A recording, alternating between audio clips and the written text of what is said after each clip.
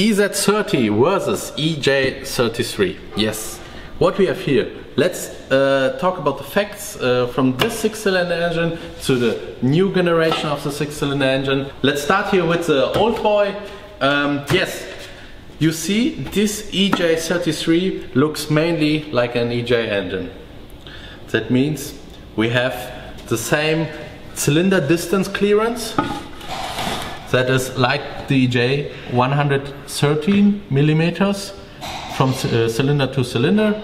Um, the stroke is the same and the original bore uh, from the EJ engine is 97 millimeters but uh, maybe you know this engine we have already sleeved uh, we need it for our, one of our projects um, but that's not the reason why we do this video. I only want to show you the difference between this, these two engines and why I love this engine more than this one here.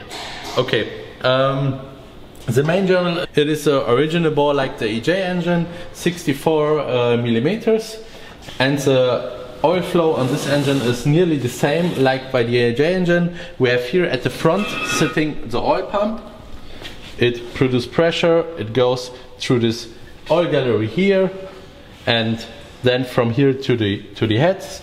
And at the same at this side we have here one bore for the oil flow and here's a gallery for the main journal. It comes here to main journal number two three four and on the other side it goes to one and five and 6 and 7. Yes, um, this engine is, uh, I will say, middle trusted because the main bearing is here at this position. That's the same like uh, by the old EJ engine style. They have it um, till I think 99 on this position, and after 99 it is here at the rear thrust.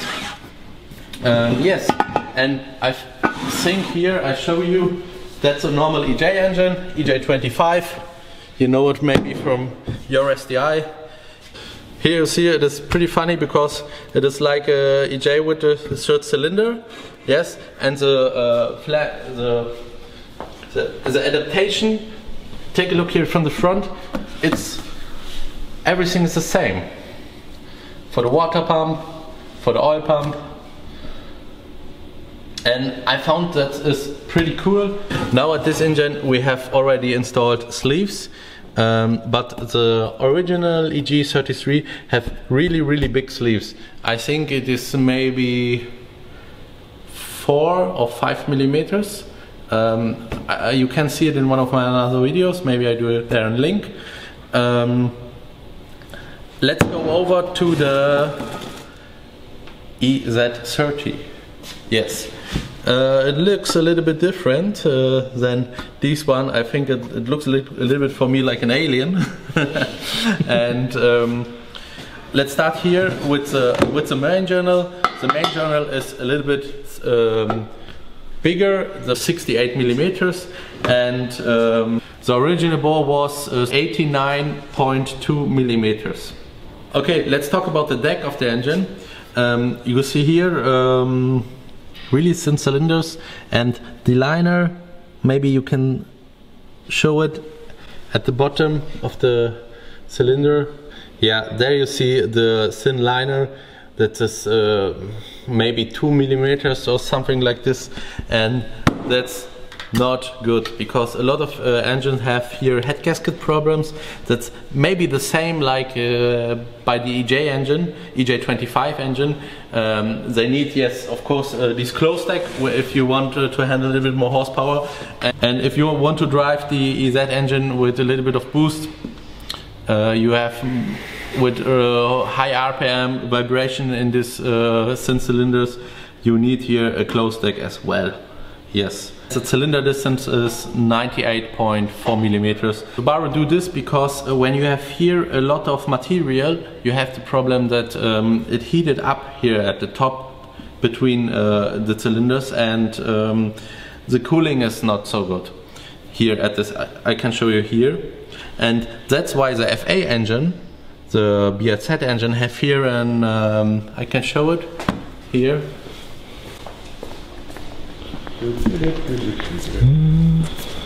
Here. You see, a small channel for uh, cooling flow. And that's better because then you have not this point was not cooled here in this area. And when it is so like this engine it will start knocking here at this point. Okay. Um, yeah okay the journal was a little bit bigger and the oil flow at this engine is absolutely crazy.